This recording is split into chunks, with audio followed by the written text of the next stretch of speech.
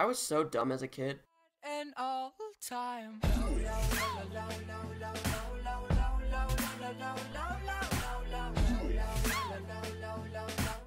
This story is about the time when me and three of my friends almost set my neighborhood on fire. And this is probably the most insane story I have. I almost burned my neighborhood down, and I'm just gonna get straight into it. We, we love the wilderness. We would always go outside after school, like, every day. We would just mess around outside, and, like, we would bring, like, we thought we were so cool, we'd bring our pocket knives outside and just, like, cut down little tiny trees and stuff and start little fires. But this time, we started a fire, and I mean, we did like we were not smart. It was it had been like six months since it rained, so this place was just dry. It was literally a desert, and we started a fire, put leaves in there, and it started to spread through the open space. And it like that makes it sound like it's a big fire, but it was really like this big of a fire, and it started to spread like outwards, and it started to just expand. And we were just sitting there shitting ourselves, like not knowing what to do.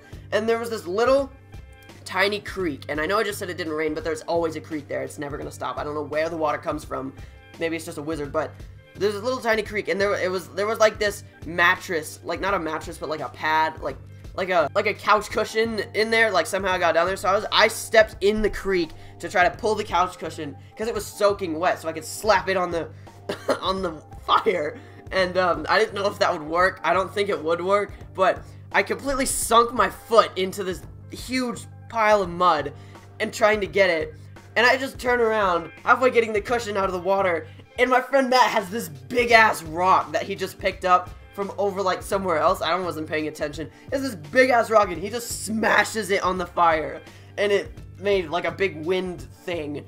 I don't even know, wind wave, wave of wind, wave of air. And it, it put the fire out, but that thing got big. Like that, it was, that was a smart idea. If he didn't throw that rock down, we would have burned down my neighborhood because this open space backs right up to people's backyards and the fences are wood obviously. So it would have burned all the way to the fence start the fence on fire and then the fences are at a T and they, they, they cross each other. So that fence would have started on fire and then the fence that crossed it would have started on fire and it would have crossed all the way up to the house and then there's another T that connect the fence to the house so you can get to the backyard and those would have started on fire and then the houses would have started on fire and everything would have just been on fire and fire would yeah fire I just said fire like 8,000 times, but I don't care because this is one of the best stories that I have to tell. It's one of my best memories looking back at 6th grade. Like, all these stories that I've told on my channel are from 6th grade.